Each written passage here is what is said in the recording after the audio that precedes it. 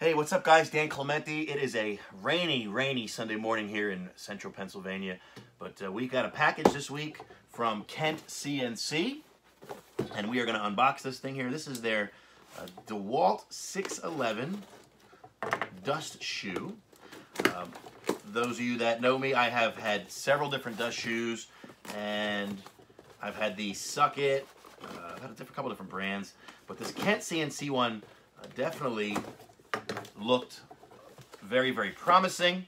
So I figured, let's see what we got here. So we reached out, we got one of these, and uh, let's see how it comes in the unboxing. So it comes with, plastic, I'm only kidding. Okay, it comes with a, a dust ring with very, ooh, very, very soft bristles. I like that. Many of the dust shoes that I've had always have like real hard bristles. These are really super soft. I really like that. And these, I believe, are two inch brushes. And then it also comes with this piece. Very simple dust shoe. Two parts, nothing really to mount. That's what caught my eye about this. A very, very simple, easy process. And that's it. So it has the dust shoe with the hose for the two and a half inch adapter. And then these here have magnets. I'm going to come closer to the camera to show you this. And uh, it looks like there just magnetizes. And then there's a hole here for the router to go, and it has a a lock like a lock screw. Um, I know they say on the website do not tighten that overly tighten, so you don't want to ruin it. But that's it. It's very compact. I mean, this is like really really nice. You can see the quality. Look at the thickness of the um, the actual top part of the shoe itself. And then there's also same thing here. This is a lot of thickness here. And then it's got three Neo magnets, and they just boom, sit together. So what we're going to do is we're going to hook this up to the machine. We're going to give it a try and see how it sucks. That sounds terrible. But no, I think this is going to work great. I can already see this is going to be a great addition to the new CNC for Newbie machine. So we're going to try this out, hook it up, and uh, see what we got. Be back in a few minutes. All right, we are back at the machine. And here is the Kent CNC dust boot. Like I said, it separates. I think that is so cool. All right, so looks like uh, this will be obviously where the two and a half inch goes in. That's really nice and tight, nice and snug. I like that. All right, so it looks like this piece goes up onto the router. We got to loosen it a little bit. It does not come with a key for this. I already had it out before the video started. So you got to get an Allen key, or I have a little screwdriver that already has that size in there, and open that up a little bit. And kind of just fit it up in there. Nice and snug. I love it. Put that there. And just give it a little, just a snug fit. Look at that. That's not, that is not moving at all. And then I would assume you put your uh, access to the button right there for the for your bit for the DeWalt 611. And I you put your bit on. Well, We'll put a bit on just for purposes of, of demonstration. We'll get out one of my quarter inch bits.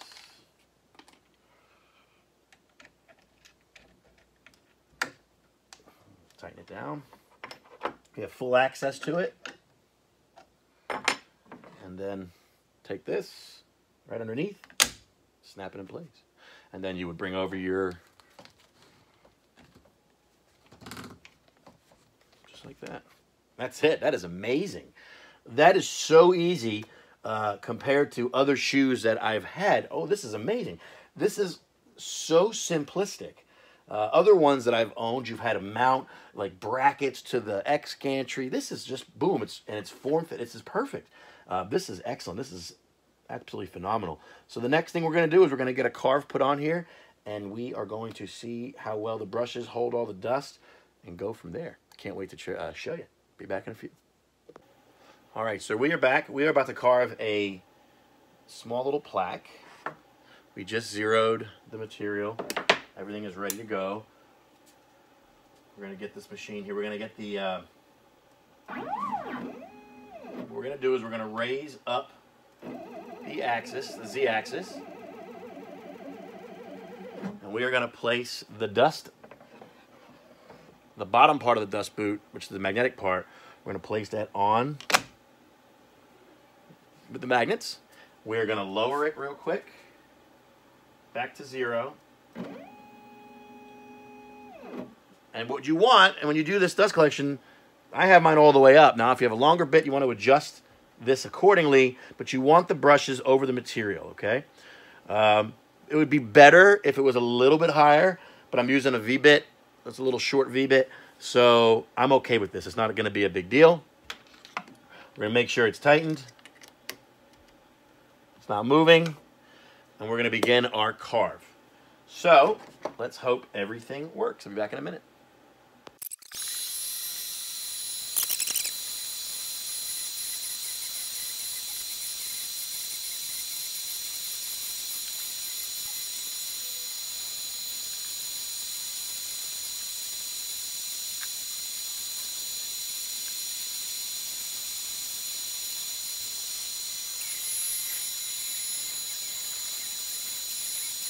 Back now, it's not completed yet.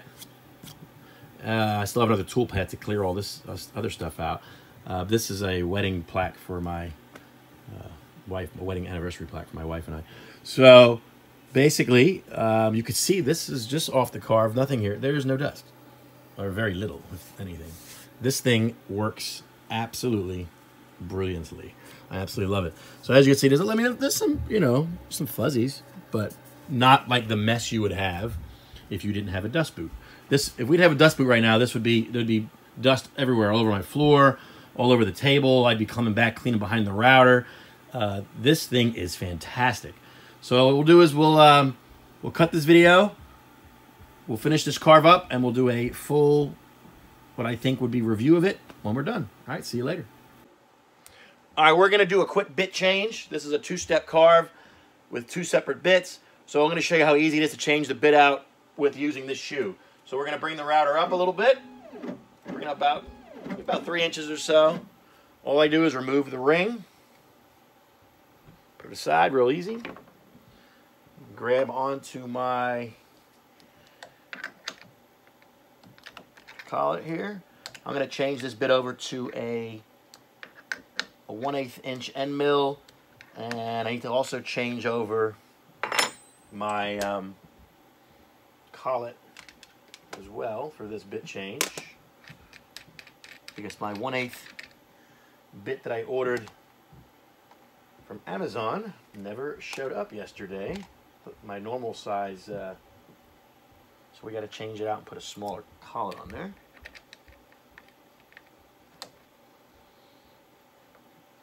take two seconds here. Just want to show how easy this is, though. It's very, very simple.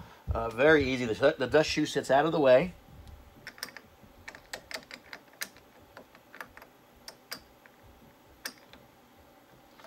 Bring it into zero real quick.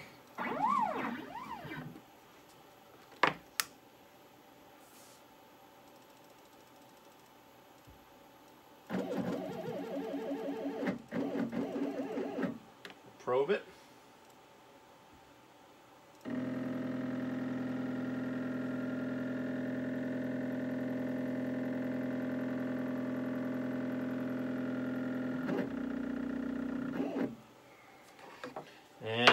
I'll raise it up one more time. Just give me a little bit more clearance to put the shoe back on. Again, easy. Three magnets, slips right on. I will return to zero. And this is at the same height. I haven't changed it. And we will start the second part of the carve.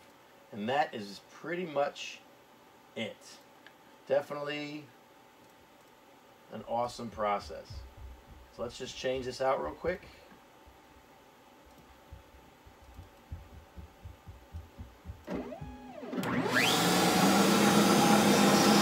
That is it. We'll be back in a few minutes, guys. Wanted to show this bit here with the eighth inch bit going a little bit deeper. And again, I want to show you that there's no dust on the workpiece. Very, very, very minimal dust, if any. It's just little specks. So this thing is actually doing its job. It's working perfectly. Very secure. Right now we're going back and forth, trying to get all the, the depth we need. We're going down a tenth of an inch. And you can see here, it's sucking up dust like crazy. There's very little dust on the workpiece from what a normal, without dust boot, would be completely ridiculous. So it's looking really good, guys. All right, so we're back. The carve is finished. I moved the boot out of the way, and this is what I'm left with. Just a few remnants of some dust more. These are more like little chips, but you can see on the on the actual carve itself, there's no dust. And here's the surface of the table. I'll back out a little bit for you. So that's it. So overall, I think this did an absolutely fantastic job. Very, very happy with it. Very, uh, very clean. Picks up all the mess. And uh, I think it did a great job. I, I'm really impressed. So this gets two thumbs up from me. Highly recommend it. I will put the link to where you can purchase this in the description below. And that is it. All right, guys, we're back. Here is my final thoughts on the Kent CNC dust shoe. So first thing is the quality. The build quality is absolutely out of control. It's wonderful. The build quality is so great. Look at the thickness of that again. I said that earlier, the thickness. Look how thick that is. That is so nice, so well built. I love the shoe. I love this part that it separates. I love the mag oh, magnets. I like that it's, this is all, uh, I guess he glues this on there. This isn't coming off. I like the whole the little screw thing, how it tightens. The ease of getting it out of the box and putting it onto the machine is a few minutes. Whereas some of the other ones I've owned, I had to figure out how to assemble it. It would come with like arms and you have to like put these little spacers on and then you have to figure out how to put the little arms on. It was annoying. This literally took to mount. In the video you saw, it took a couple minutes and it was up and ready and I had a carve going in a matter of minutes. That was and it was sucking up all the dust. So I think this one is a little bit more money than others on the market. Yes, but they always say in life, you get what you pay for. And I really believe with this, you're getting a quality product, a quality dust shoe that's going to leave you with no dust in your shop. My wife drives me nuts because I'm always creating dust down here. My machines, I have two of them, they run every day. We, we have orders every day. We're creating dust every day. I had to get the dust out of the basement. We ended up installing, you can't see it in the video, but I ended up installing an air filtration system as well to suck up some of the dust. This takes up 98% of the dust.